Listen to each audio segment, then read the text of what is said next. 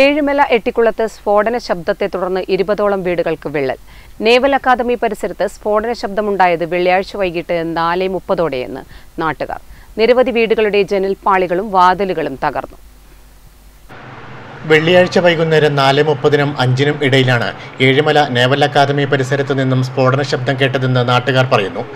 ഭൂചലന സമാനമായ പ്രകമ്പനമാണ് സ്ഫോടനത്തോടൊപ്പം ഉണ്ടായത്. ഇതേ തുടർന്ന് എട്ടിക്കുളം പടിഞ്ഞാറ് ഇരുപതോളം വീടുകളുടെ ചുവരുകളിൽ വിള്ളലുണ്ടായി. ചില വീടുകളുടെ അകത്തെ മുറികളുടെ വാതിലുകൾ തകർന്നു.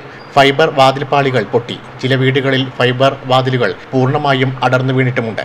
കൂടുതലും ചില കുട്ടി ചെറിയ കുഞ്ഞു വരെ കിടക്കുന്ന കുണ്ടി വരെ നെട്ടിയിട്ടുണ്ടായിരുന്നു. ഇവിടുന്ന് ജോലിക്കാർ പെണ്ണുങ്ങൾ നീണ്ട് ഇന്നലെ സെബീത്തുണ്ടായിരുന്നു ഇവിടെ അപ്പണെങ്കിൽ സ്റ്റെപ്പും വന്ന് താലിലേക്ക് വീണി. ഇതിന്റെ ഇതിന്റെ നെടുക്കം കൊണ്ട്. പനിയനുണ്ടായി ഇവിടെ നിൽക്കുന്നത് വന്നിട്ട് ഇംതിയാസ്.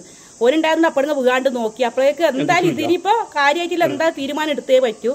അത്രയും ഇത് വെച്ചാൽ വീട് അടച്ചിട്ട് ഡോറെല്ലാം പൊട്ടിയിട്ടുള്ളത് അടച്ചിട്ടുള്ളത് പിന്നെ ഗ്ലാസ് എല്ലാം ഇപ്പൊ വാർപ്പിന്റെ കാര്യം എന്താണെന്ന് വെച്ചാൽ മഴ വന്നാൽ നമുക്ക് മനസ്സിലാവും വാർപ്പ് കോൺക്രീറ്റ് എന്താ സംഭവിച്ചിട്ടില്ലെന്ന് ചില്ല് ജനാലകൾ മിക്കയിടത്തും പൊട്ടിയിട്ടുണ്ട്.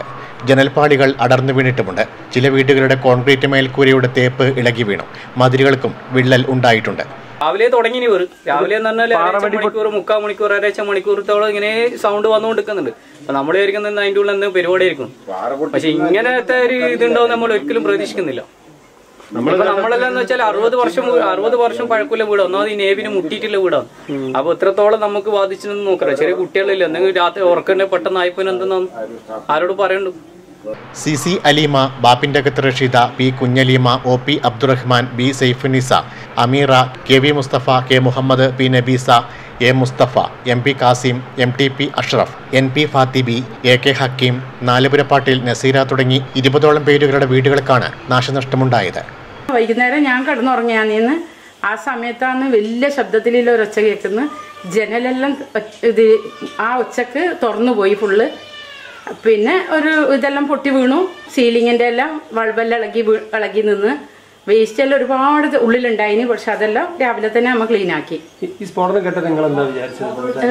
ഉമ്മ പേടിച്ചു. ഞാൻ എന്തോ വെടിപൊട്ടിയതാണെന്ന് വിചാരിച്ചു. പക്ഷെ വയ്യാന്ന് നമ്മ അറിയുന്നത് പുറത്തെല്ലാം ചുറ്റും നോക്കുമ്പോൾ ഇങ്ങനെല്ലാം നാശനഷ്ടം വന്നത്. വെള്ളിയാഴ്ച രാവിലെ മുതൽ തന്നെ നേവൽ അക്കാദമി പരിസരത്ത് നിന്നും ചെറു സ്ഫോടന ശബ്ദങ്ങൾ കേട്ടു തുടങ്ങിയതായി പരിസരവാസികൾ പറയുന്നു. എന്നാൽ വൈകിട്ടുണ്ടായ സ്ഫോടന ശബ്ദമാണ് എട്ടിക്കുളം പടിഞ്ഞാറ് ഭാഗത്തെ ആകെ നടുക്കിയത്. ശബ്ദത്തിന്റെ കാരണമെന്തെന്ന് ഔദ്യോഗിക വിശദീകരണം വന്നിട്ടില്ല. Network news Payyanur.